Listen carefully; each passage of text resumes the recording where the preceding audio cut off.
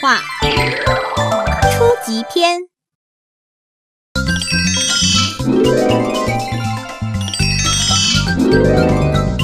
第五课石榴。小朋友，你们好。今天我们要学习石榴的画法。你能告诉我你对石榴了解多少吗？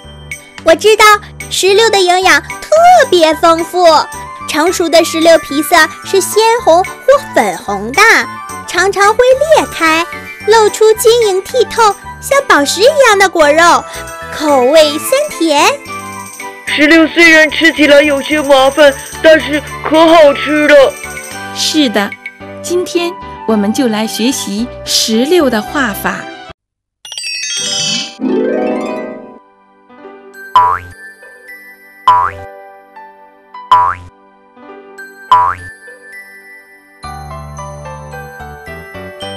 接下来，我们了解一下画石榴的口诀。先用折线画头顶，再把圆圆脸蛋画，咧着嘴巴笑哈哈，最后再画豆豆芽。小朋友。让我们再来熟悉一遍口诀吧。先用折线画头顶，再把圆圆脸蛋画，咧着嘴巴笑哈哈，最后再画豆豆芽。接下来，让我们按照口诀画一画石榴吧。先用折线画头顶，再把圆圆脸蛋儿画，咧着嘴巴笑哈哈，最后再画豆豆芽。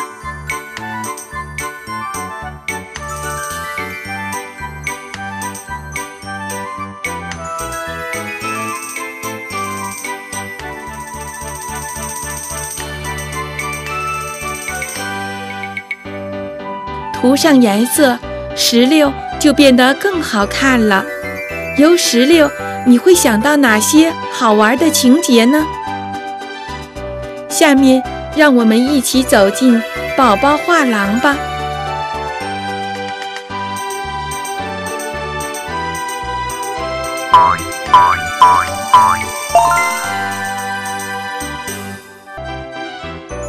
这个有趣的情节发生在水底餐桌上，这里有许多好吃的东西。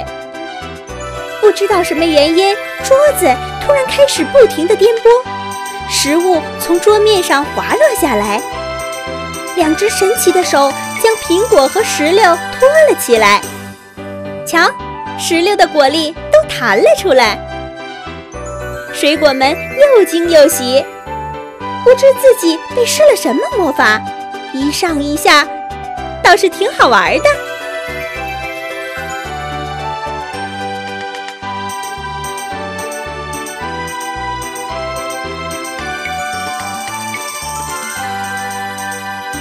哦，大石榴为什么是这种表情？看它好丑，好无奈呀！原本。石榴和柿子还有西瓜，好好的待在盘子里，等着主人回来。可是突然间来了一只小老鼠，石榴发现老鼠正在打它的主意呢，所以石榴太着急了。它想用这样的表情把老鼠吓跑。唉，也不知道这个办法是否能够起作用。